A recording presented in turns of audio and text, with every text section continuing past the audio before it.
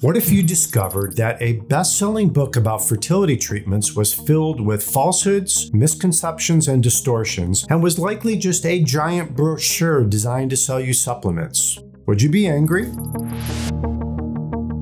Hi, I'm Dr. Randy Morris, MD. Using my background in biochemistry, molecular and cell biology, my medical degree, my training in obstetrics and gynecology, and reproductive endocrinology and infertility, I have analyzed the studies and translated vast amounts of data into actionable, straightforward plans that have helped thousands of women overcome infertility and pregnancy loss by having them avoid supplements. Let's first start by talking about DHEA. DHEA is a hormone produced primarily from the adrenal glands. This book claims over and over again that taking DHEA will improve the quality of your eggs. The book relies heavily on poor quality studies from a single doctor in New York City. According to a recent expose, this doctor puts nearly all of his patients over 40 on DHEA supplements.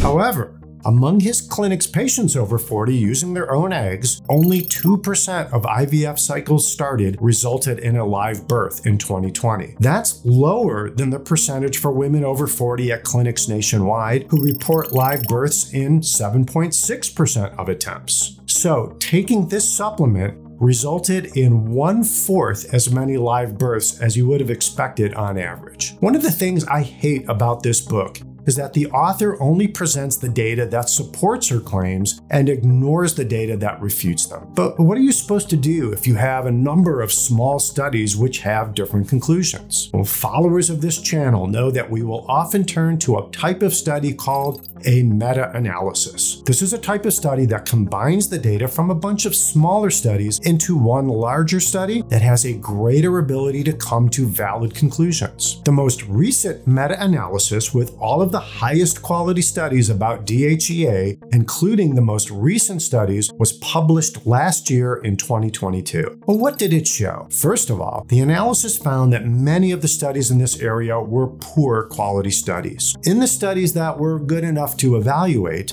did patients given DHEA see an improved response to fertility medications, as is often claimed? In five studies looking at a total of 538 patients, there was no difference in the number of eggs retrieved in IVF cycles. What about mature eggs, the ones that you can actually try to fertilize? Three studies with a total of 372 patients found no improvement in the number of mature eggs retrieved. How about the total number of embryos produced?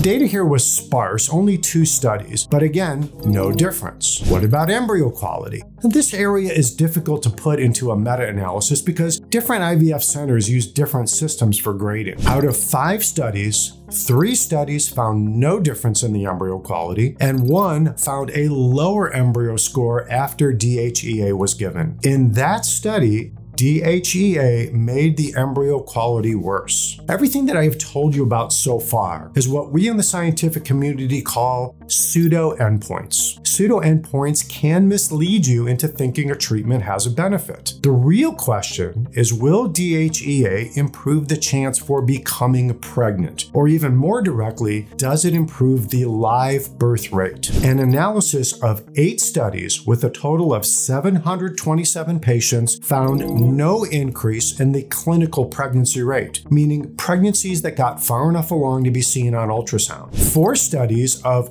132 patients showed no reduction in the miscarriage rate, and three studies showed no difference in the live birth rate. So, if these supplements are not proven to be effective, why does this doctor give it to all his patients? The answer is we don't know. But could it be that this doctor holds the patent for using DHEA for fertility and owns a company that sells DHEA and other supplements? Unfortunately, his patients aren't always told of this obvious conflict of interest. Not only that, if another supplement company markets DHEA as a fertility supplement, he sues them for patent infringement. One doctor filed a complaint against him after being sued by him. He was then asked to sell that brand exclusively. Why does the author of this book specifically recommend this doctor's brand of DHEA? Again, we don't know, but I find it suspicious that she is a consultant for his his supplement company. I also find it suspicious that the doctor sells her book on his website and until recently said that the author was its lead scientist, even though she's a patent lawyer with no medical training and a minimal scientific background. Ultimately, IVF doctors would love to boost your chances for pregnancy. So, what do the Fertility Doctor Medical Society say about DHEA supplementation? It can be summed up by this statement ESHRE, the European Society of Human Reproduction and Embryology, states that the evidence for benefit is inconsistent, there is insufficient data on safety, and it therefore cannot recommend DHEA. So, if what I say is accurate, why hasn't the federal government stepped in to do something about it? Well, they have tried. In 2021, the FDA and the Federal Trade Commission sent a joint warning letter to that DHEA promoting doctor. In that letter, they noted DHEA and other supplements he sells are not recognized as safe and effective for uses such as improving fertility or reducing miscarriage, and making those claims is a violation of federal law. Infertility TV is your most trusted source for accurate information on infertility and miscarriage. If you are not a subscriber yet, hit the subscribe button right now. A new episode is released every week. Don't miss any episodes. You can also check out on our website, ivf1.com, where you can become a patient.